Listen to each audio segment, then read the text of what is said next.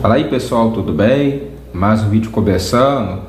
Já tinha falado anteriormente sobre a renovação que ocorre na aviação Vera Cruz. Não confundir com a Vera Cruz de Belfor Roxo. A de Belfor Roxo é a Autoviação Vera Cruz e eu estou falando da aviação Vera Cruz da Verdiente Duque de Caxias.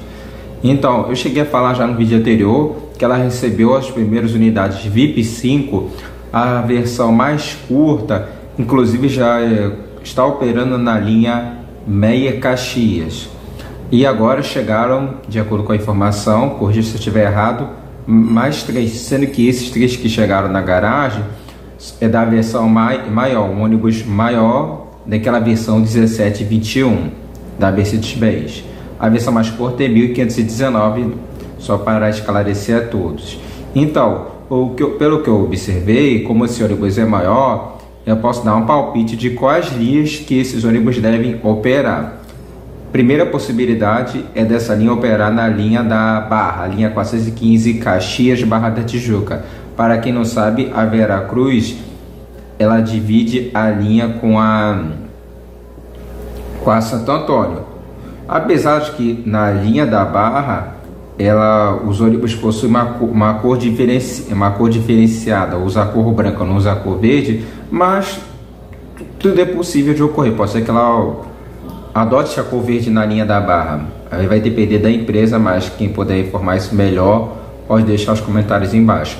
Agora, outra também que ela pode colocar esse ônibus em operação é a linha Caxias Freguesia, porque é uma linha também que carrega muito, é uma linha, diria, das, eu acho que é uma das linhas mais longas da Vera Cruz de Caxias, é uma linha também que eu acho importante. Já tem um tempo que ela não renova na linha Caxias de Freguesia. posso estar errado, mas tem um tempinho já que ela não renova. E então, isso possui ar condicionado.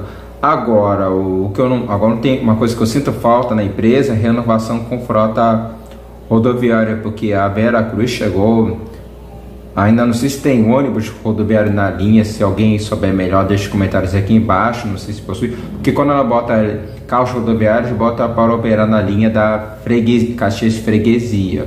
Mas também é um assunto também que eu vou falar isso melhor depois.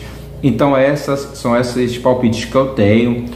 É, mais novidades, outras informações, tudo que acontece no transporte público, no tema de mobilidade urbana o lugar certo está aqui no meu canal, por isso que eu peço que se inscreva, ative o sininho para receber todas as notificações e compartilhe todas as informações em tempo real, que aqui vocês não perdem nada e não deixam passar nada, mas a gente sempre vai atualizando essas informações.